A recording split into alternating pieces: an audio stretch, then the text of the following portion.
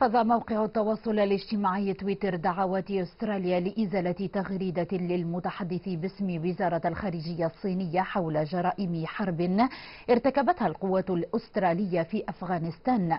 وكان المتحدث باسم وزارة الخارجية الصينية جولي ديان قد أرفق لتغريدته صورة لجندي أسترالي يضع سكينا على عنق طفل أفغاني.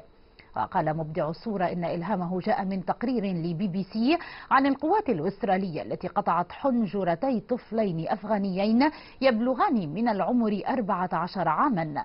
وقال رئيس الوزراء الأسترالي سكوت موريسون إن تغريدة المسؤول الصيني مزيفة وطلب الحكومة الصينية بالإعتذار.